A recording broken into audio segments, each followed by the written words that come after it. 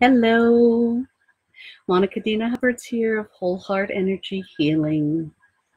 Welcome to day 25 of your Stairway to Sovereignty Foregoing Fears for Freedom. We're talking about the dreaded F word, fear, facing it, tossing it out, and placing you into a fun and fabulous new year. Hi, Linus. Fear serves a purpose that's intended to get our attention. Yet once the issue at hand has your attention, feeling fear no longer helpful. In fact, it's quite harmful.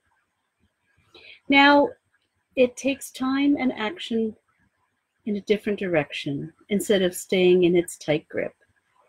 We're going to take on a challenge to recognize how fears in our thoughts, ideas, our attitudes, and our beliefs can negatively control how we think, act, and feel. Hi, Mandy. We're making fear work for us instead of thinking it's against us. Instead of shooting the messenger, we're paying attention to the message so we can course correct and continue. Yesterday, we discussed angerphobia or the fear of anger. People having this fear truly fear getting angry because, when expressed, their anger is so often out of control that it's frightening to them and those around. Anger is one of those wrong and forbidden emotions to be expressed in public and even private, especially for women.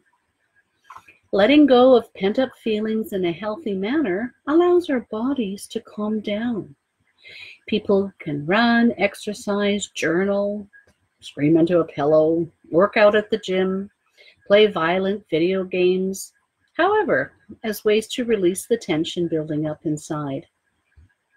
Healthy anger puts us into a more powerful state of mind than being sad or depressed or having hurt feelings. Today's fear has to do with what some people go through when feeling sad, depressed, and low, especially when they compare themselves to others. Let's learn more in this episode called Feeling Defeated and Missing Out. When you're disappointed or you think that nothing's going right, you can feel defeated. Are you one of those people who, when you're determined to win, you won't accept defeat even though it's obvious you've been defeated? Feeling defeated instills a type of fear that goes in the direction of, of two ways. You feel depressed and sad, or you feel like you're missing out and do everything possible to be like everyone else. Let's look at feeling defeated and that leads to depression, or often, not always.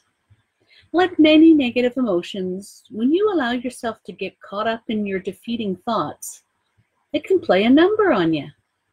You allow that terrible thought tyrant to run the show. Your thoughts are your thoughts, and nobody has an off switch to stop thinking.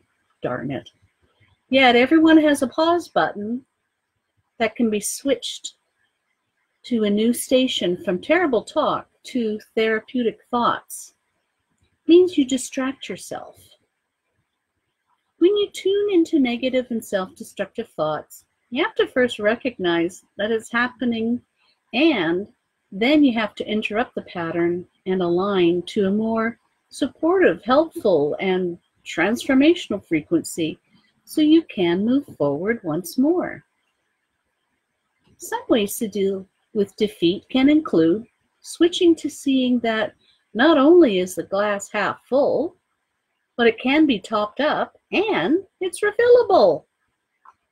Realizing that most every failure puts you one step closer to success. How about being open to learning a lesson and gifts that uh, gifts you with skills and knowledge that you previously didn't have? Seeking guidance from experts to give you a leg up are all ways to help you with that form of feeling defeated. Now let's look at the other one, the fear of missing out.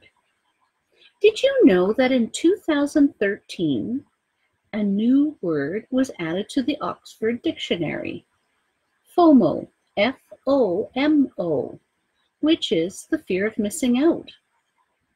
You can see it also in the urban dictionaries, and there's a few other dictionaries online that you can find out information.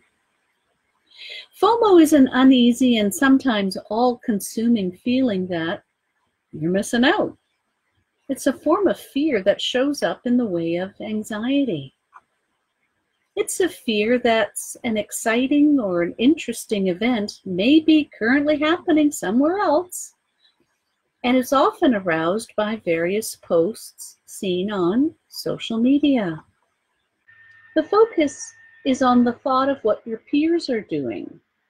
They may be in the know about, or perhaps that they are in position, possession of more or something better than you.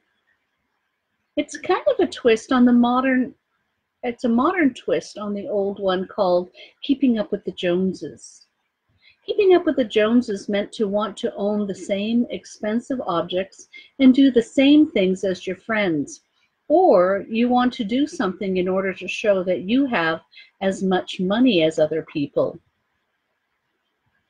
rather than because they really like to do it. People were holding down three jobs just to keep up with the Joneses. It's exhausting. In the case of FOMO, instead of going into debt or working three jobs just to keep up, this fear and anxiety has turned inward and expresses itself in other ways. FOMO is also very self-defeating as it ensures you into a holding, ensnares you into a holding pattern of behavior. It leads you to repeatedly check social media so you don't feel out of the loop, so you know you're doing okay, so you don't feel left out. Caught in the FOMO cycle? You're probably not feeling too great about your own life.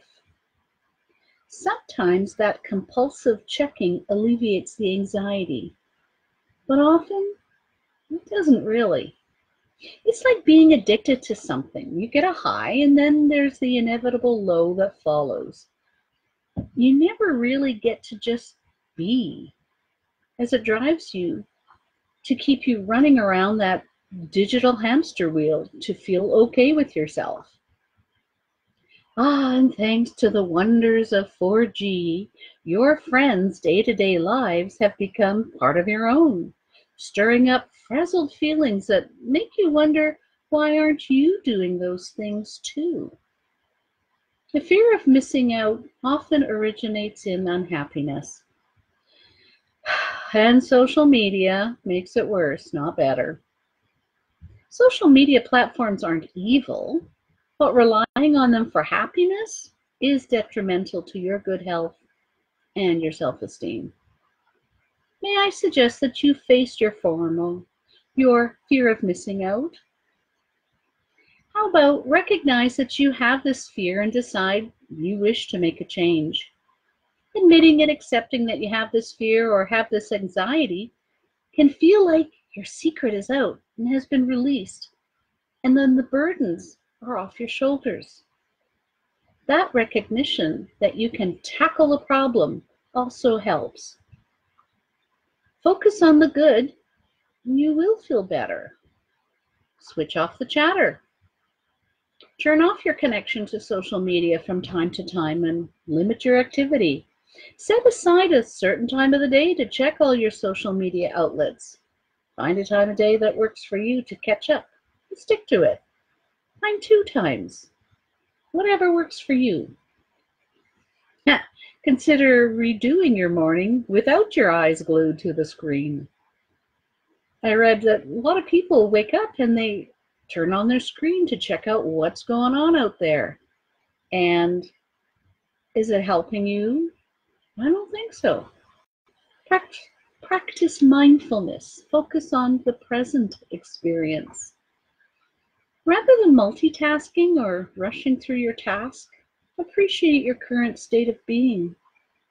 Being mindful can help with those major FOMOs things and enjoy the task in here and now instead of yearning for what else could be. Try expressing gratitude for whatever you're experiencing. Go out and talk to people face to face, not FaceTime, over a cup of coffee. Get connected to real people in real time and have a real instead of virtual experience. Try it. You might just like it. Yeah, these are my own opinions, but still, I think you'll find that uh, the information on FOMO is out there. If you search the net, my goodness, there's a lot to be found. If you're still feeling overwhelmed by this type of fear, book a session with me, and together we'll kick your fear out on its rear with restorative techniques to help you heal. I'm putting together some courses that will make healing and achieving your goals faster, easier, and more efficient. As you deserve a more balanced, fear free, and happier life, message me. I hope that you're supported during this quest and can find someone to go along with you on your journey. Let's do it together. Together is better. Use the link below that I'll post in a moment called Getting to Know You, and we'll explore what you want to achieve in life and move forward into a happier way of being. This has been day 25 of Your Stairway to Sovereignty, Foregoing Fears for Freedom, so you can get a new year, a new decade, and a new you off to a freeing and abundant new start. And I have a challenge. I posted it just minutes earlier. Share a way that you'd help your friend get over their FOMO, get over their free fear of missing out. Cheers to your success. And I'd love to thank uh, Linus and Mandy for joining me. I so appreciate you showing your support.